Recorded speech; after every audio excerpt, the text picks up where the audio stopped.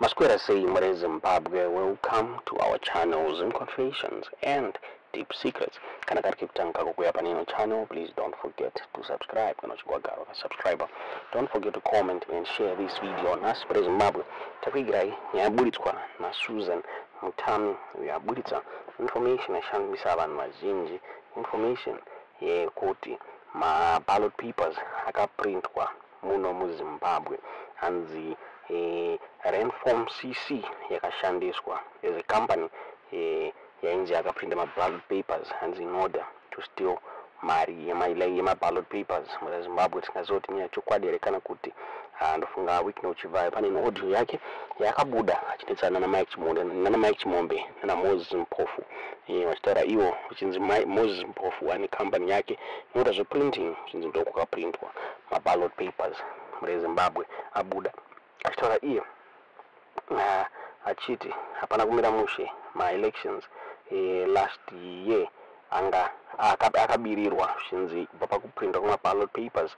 The opposition haina kunge yainvolvwa muri zimbabwe ndofuchi zvinhu zvaifanira kunge zviri pamutemo iyo the opposition vaichema chemawo vachiti havasi kuziva kuti maballot papers akaprintirwa kupi. Ndofunga the zek yakambobuda ichitaura ichiti theyare going to print maballot papers locally muri zimbabwe so now pakubuda nyaya yekunzi they were printed kugrindale ndozvabuda zvitaurwa nasusan mutami wezimbabwe eh, aenderera mberi. Achitaura iye achiti eh, eh, president emerson mnangagwa and his family they are trying to protect witness chivayo because vari kuziva kuti once asungwa eh, the entire zek ballot paper printing scam inoexposwa zvinzi eh, rainform inosiwa isina choice but kutaura chokwadi eh, kuti havana kuprinta maballot papers muri kuti munoona sei nyaya iyi abuda. On ax yendo susan mutami achitaura achiti in may counterintelligence operatives were deployed to try and manage public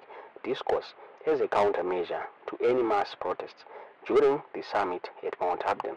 The regime thrives on instilling fear in the masses. Don't listen to their cheap online propaganda. For instance the house break-ins show you that the whole thing is staged. It would be prudent for SADC, for SADC to allow Wichilema to extend his chairmanship whilst they find another suitable candidate country. The past election was a farce. From printing of ballot papers, the opposition was not involved, which is contrary to the law. This is the reason why Idi Mnangagwa and his family are going all out to protect Wikno Chivayo, because they know once he is arrested, the entire Zegzim ballot printing scam will be fully exposed. Once hard-pressed, Renform will be left with no choice but to tell the truth regarding ballot printing because they did not print them.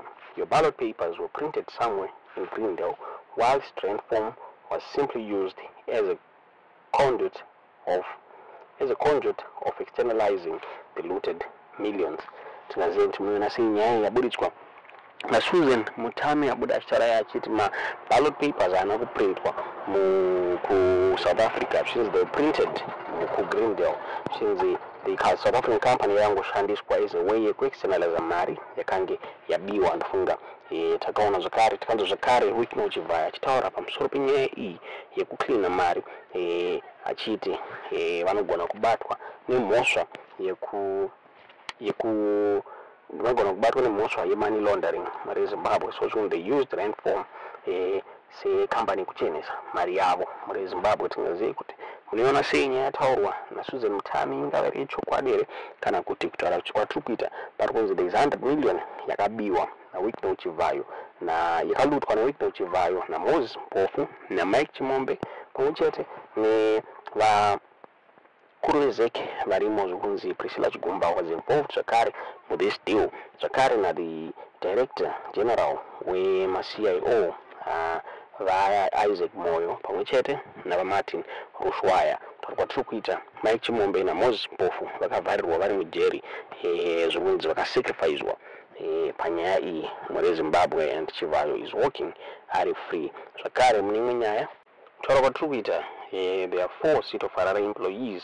Ava vaendeswa kucourt nenyaya yeillegal awarding yemastreet light tenders.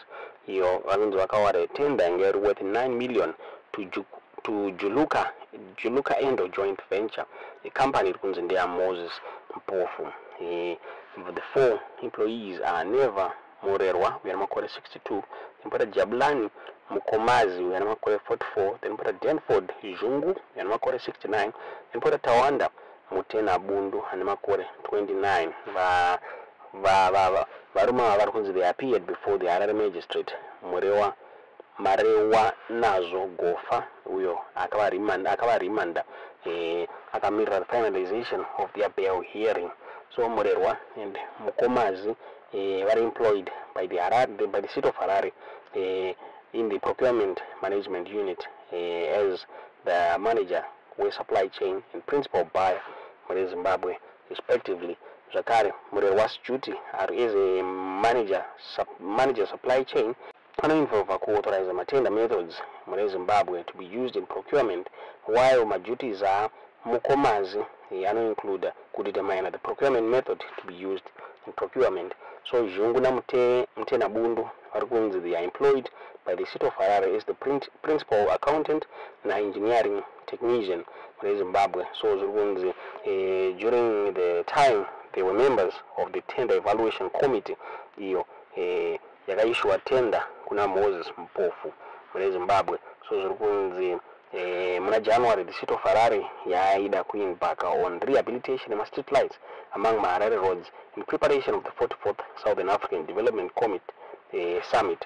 Iyo iri kuitwa muna august 2024 so on 29 january zviri kunzi eh, pras granted a few specific exemptions to facilitate the expedition completion of various key projects in time for summit Eh, consequently on 15 march an invitation to tender was published in the story authority government gazette and it was listed on the procurement regulatory portal on the 19 march 2024 11 companies namely donax enterprise shiptrex fairbank trading radiation incorporation slow engineering cyber investments cornell electrical engineers old gas international stoiner computers juluka and juluka and the joint venture exodus and company vakaresponda uh, to the tender invitation.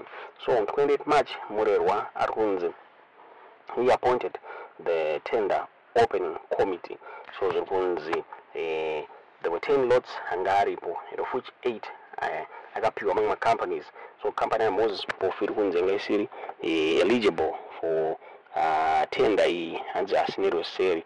Vakawanzwa vachiawadwa yetender inge iri worth 9 million mure zimbabwe. Ende zviri kunzi they never delivered uh, pakugadzira mastreet lights iwawa mure zimbabwe. Tisingazivi kuti munoona sei nyaya iyi vari kunzi ari kurohwa zvakare nemhosva iyoyi. Uh, moses mpofu mushure mekunge apedzerwa. The presidential god scheme yavari kuita namike chimombe mune zimbabwe. Tisingazivi kuti munoona sei nyaya iyi tiudzewo zvamuri kufunga pamusoro petenda penyowaship iri kuitwa muno muzimbabwe. Iyo iri kunzi nevanhu iri kuuraya nyika. Tiudzewo zvamuri kufunga pamusoro penyaya iyi mucomment section